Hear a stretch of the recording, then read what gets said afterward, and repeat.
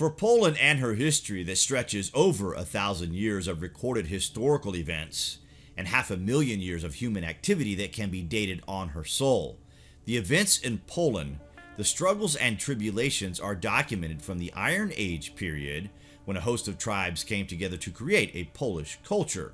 But the wealth of what we don't know can be realized in the things that have been forgotten.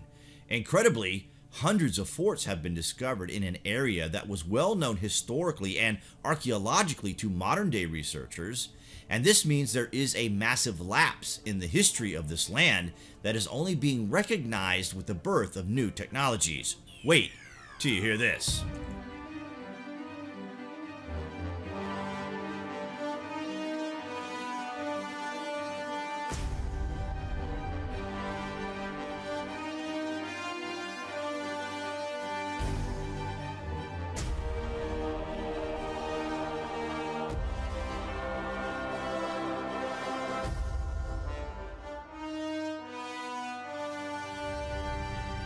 It is thought that some of the newly discovered sites may have appeared in historical literature, but their locations have remained unknown, as many monuments in the region have been leveled in recent decades due to high levels of farming as Poland emerges from the ashes of the 20th century.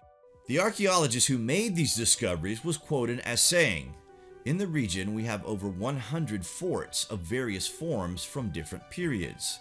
The discovery is a surprise because this area was quite well recognized in terms of archaeology.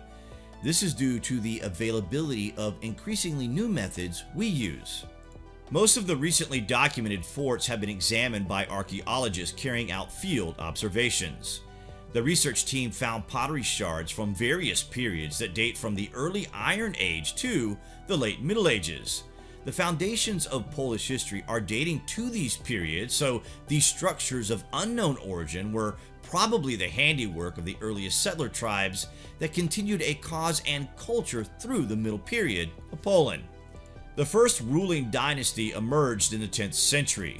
The first ruler of this dynasty is considered the de facto creator of the Polish state, and is widely recognized for the Christianity that followed his Catholic baptism in the year of our Lord 966. This dominion was formally reconstituted as a medieval kingdom in 1025 when a military expansion took place under this rule.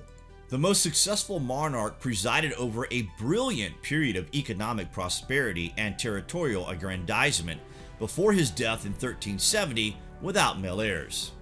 The period of the 14th through 16th centuries brought close ties with Lithuania, a cultural renaissance in Poland, and continued territorial expansion, as well as Polonization that culminated in the establishment of the Polish-Lithuanian Commonwealth in 1569, one of Europe's largest and most successful countries at the time.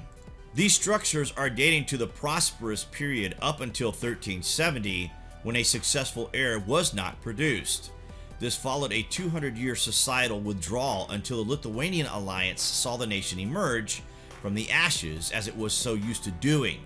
Just when Poland seems to get going, something is always there to pull them back to the brink, and it is from the brink that they seem to emerge stronger than ever before, and of course, modern Poland is experiencing the same cultural clawback that had happened so often before.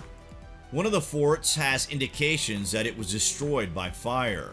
On the plowed surface were traces of burnt wood and scorched clay in the remnants of the fort's embankments.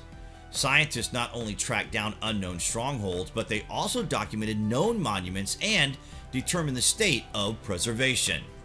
The preliminary analysis of the collected data shows that this is not the end of the discoveries. Further places have been selected that may hide relics of former fortifications.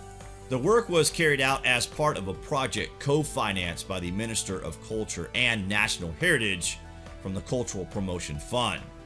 The project's partners was the Monument Protection Foundation in Poznan, and we just wanted to share this little snippet of history with our subscribers as lockdown draws to a close. How are you guys all doing out there anyway? Feel free to exercise your thoughts in the comments section below, and as always, thank you for watching.